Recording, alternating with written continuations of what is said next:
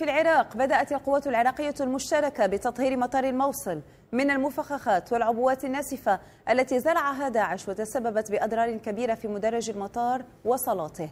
في وقت استكملت فيه قوات الفرقة الذهبية تحرير قاعدة الغزلاني العسكرية التي كان يتخذها تنظيم معسكرات لتدريب مقاتليه وكتائبه الخاصة. وسام يوسف رافق القوات العراقية خلال تحريرها هاتين المنطقتين الاستراتيجيتين وأعد هذا التقرير.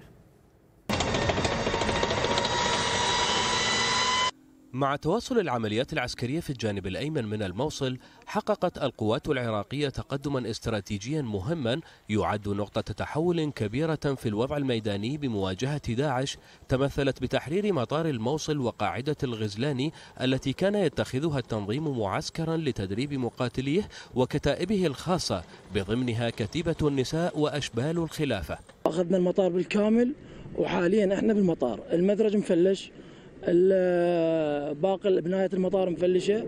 المخابئ مال الطيران مفلش.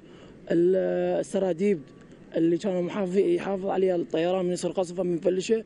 المطار كله مفلش. أخبار الآن رافقت القطاعات العراقية متمثلة بقوات التدخل السريع التي حررت مطار الموصل وقوات الفرقة الذهبية التي حررت قاعدة الغزلان جنوبي الساحل الأيمن للموصل.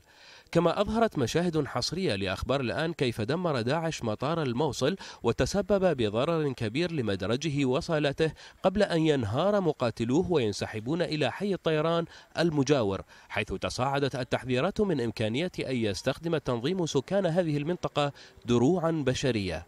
التعامل موجود للمواطنين مهيئ لهم العجلات مهيئ لهم المخيمات وأرزاقهم.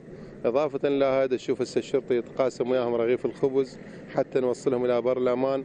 أنا بأكثر لقاء أقول إحنا أهم شيء رجعنا لهم الكرامة. كرامة إذا ترجع لهم هي أثمن كل شيء. وكان سلاح الجو العراقي وطائرات التحالف الدولي نفذت غارات جوية رافقها قصف مدفعي مكثف قبل وخلال عمليتي تحرير المطار الموصل وقاعدة الغزلان العسكرية. كما استخدمت القوات العراقية طائرات مسيرة لرصد تحركات مسلحي داعش في محيط هاتين المنطقتين الاستراتيجيتين إلى جانب استخدامها دبابات برامز أمريكية الصنع في عمليات الاقتحام ضمن الصفحة الثانية من عمليات الجزء الجنوبي للجانب الأيمن من الموصل. معاملة العدو أن توجهاتهم يعني كلش بسيطة وما كنا متوقعين يعني هيك راح يقامون. وإن شاء الله انهاروا وأخذنا المطار إن شاء الله ومتقدمين إن شاء الله. زين عناصر داعش آه، اللي آه، انسحبوا. آه، عددهم إذا تقدر تعرف أو شنو مصيرهم؟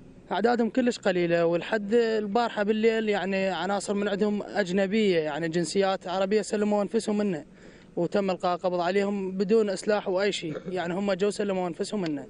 يأتي ذلك فيما أفادت مصادر عسكرية عراقية بأن الجيش العراقي وقوات الشرطة الاتحادية ومكافحة الإرهاب تنفذ خططا جرى تغييرها بما يتناسب مع أوضاع مناطق الجانب الأيمن للموصل المأهول بمئات آلاف المدنيين.